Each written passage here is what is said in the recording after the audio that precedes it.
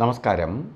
എല്ലാ N T V പ്രേക്ഷകർക്കും നിങ്ങളുടെ ഇന്ന് എന്ന പ്രോഗ്രാമിലേക്ക് സുസ്വാഗതം. ഇന്ന് രണ്ടായിരത്തി ഇരുപത്തി നാല് ഒക്ടോബർ മാസം നാലാം തീയതി ആയിരത്തി ഇരുന്നൂറാം ആണ്ട് കന്നിമാസം പതിനെട്ടാം തീയതി വെള്ളിയാഴ്ച. ഇന്ന് വെള്ളിയാഴ്ചയാണ്.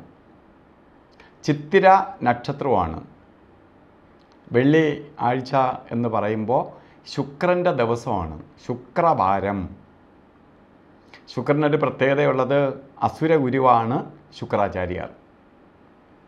പെട്ടെന്ന് എല്ലാം കൊടുക്കുന്ന ആളും കൂടിയാണ് ശുക്രൻ.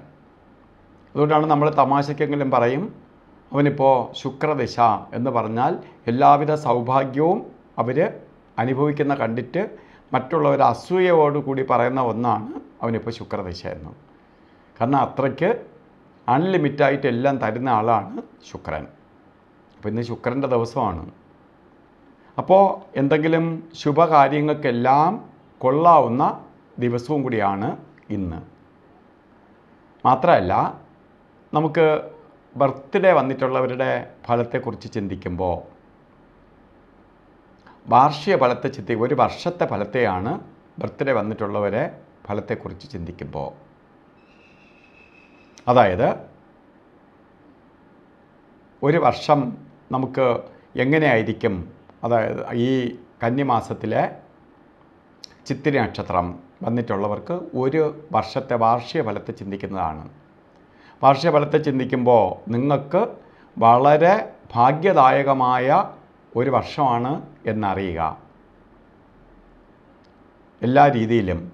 കാരണം എന്തൊക്കെ സമയദോഷം നിൽക്കുന്നുണ്ടെങ്കിൽ പോലും ശുക്രഭഗവാന്റെ ദിവസം ബർത്ത്ഡേ വന്നിട്ടുള്ളത് കൊണ്ട് ഈ ഒരു വർഷം നിങ്ങൾക്ക് വളരെ സന്തോഷപ്രദമായ അവസ്ഥകൾ ഉണ്ടാവും. പ്രത്യേകിച്ച് വിവാഹം നടക്കാത്തവർക്ക് വിവാഹം നടക്കും.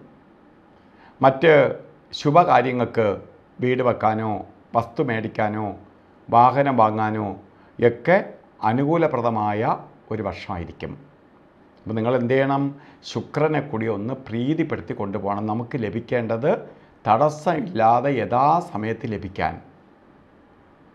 ശുക്രനെ പ്രീതിപ്പെടുത്താൻ വേണ്ടി ശുക്രന്റെ ദേവത ദുർഗയാണ് പാർവതീ ദേവിയാണ്. അപ്പോൾ ദുർഗാക്ഷേത്രത്തിൽ ദേവീ രൂപത്തിലുള്ള ദേവതകളെ ആരാധിക്കണം. പ്രത്യേകിച്ച് വെള്ളിയാഴ്ച ദിവസങ്ങളിൽ ദേവീക്ഷേത്രത്തിൽ കുങ്കുമാർച്ചന രക്തപുഷ്പാഞ്ജലി ഇവയൊക്കെ നടത്തിപ്പോണം. അപ്പോൾ നമുക്ക് ചെറിയ ചെറിയ തടസ്സമുള്ളതും കൂടി മാറിക്കിട്ടും. ഇന്നും നമുക്ക് ഓരോ കാര്യത്തിന് ഇറങ്ങുമ്പോൾ നല്ല ദിവസമെന്ന് ഞാൻ പറഞ്ഞു.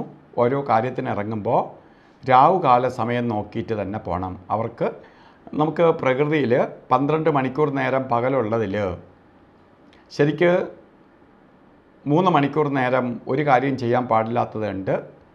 യാത്രയ്ക്ക് മാത്രമേ രാവുകാലത്തെ നോക്കേണ്ടതുള്ളൂ. രാവുകാല സമയം പത്തര മണി മുതൽ പന്ത്രണ്ട് മണി വരെ എന്ന് രേഖപ്പെടുത്തിയിട്ടുണ്ടെങ്കിലും ഇന്ന് രാവുകാല സമയം വരുന്നത് പത്ത് നാൽപ്പത്തി നാല് തൊട്ട് തുടങ്ങിയുള്ളൂ പന്ത്രണ്ട് മണി പതിമൂന്ന് മിനിറ്റ് വരെ രാവുകാല സമയമുണ്ട്. ഈ സമയം രാവുകാലത്തിന് മുമ്പോ രാവുകാലത്തിന് ശേഷമോ ഓരോ ശുഭകാര്യത്തിന് ഇറങ്ങുക.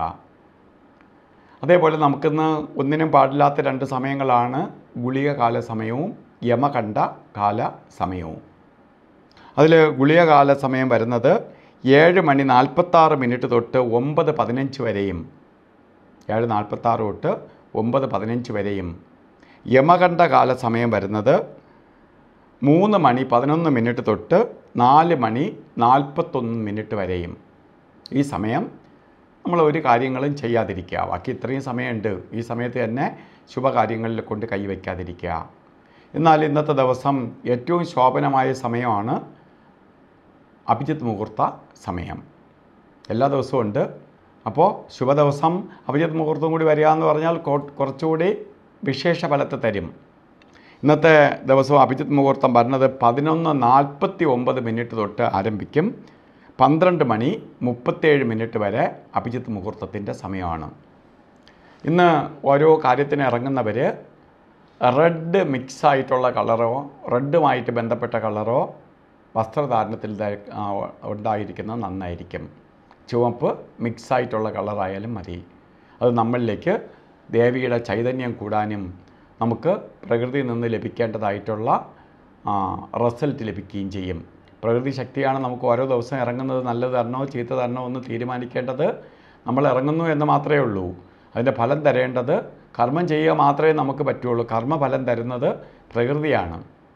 ആ പ്രപഞ്ച ശക്തിയാണ് തരുന്നത്. അപ്പോൾ അതിന് അനുകൂലമായിട്ട് അതായത് പ്രകൃതി വിരുദ്ധമായിട്ട് നമ്മൾ നിൽക്കാതെ പ്രകൃതിക്ക് അനുകൂലമായിട്ട് നിന്നാൽ മതി നമുക്കെല്ലാം കിട്ടും. അപ്പോൾ ഇന്നത്തെ ദിവസം എല്ലാവർക്കും ഭാഗ്യദായകമായി തീരട്ടെ എന്ന് സർവേശ്വരനോട് പ്രാർത്ഥിച്ചുകൊണ്ട് നിർത്തുന്നു. നന്ദി നമസ്കാരം.